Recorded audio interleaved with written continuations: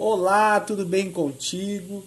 Qual o valor de 2 menos 2 vezes 3 mais 3? É uma questão de expressão numérica, tá? Temos que fazer primeiro essa multiplicação aqui de 2 vezes 3, que dá 6, tá? É, agora, o que, que nós vamos fazer? O que vier primeiro, né? O que está vindo primeiro aqui? Essa subtração. Ó.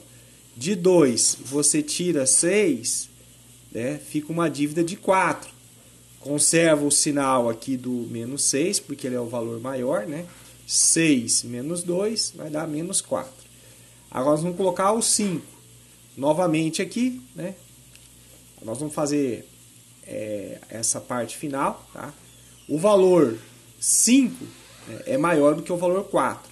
O valor 5 à esquerda dele nós temos positivo, já sabemos que vai dar algo positivo, né? 5 menos 4, né? Vai dar um total aí de 1, tá? Portanto, ficou a letra B, tá?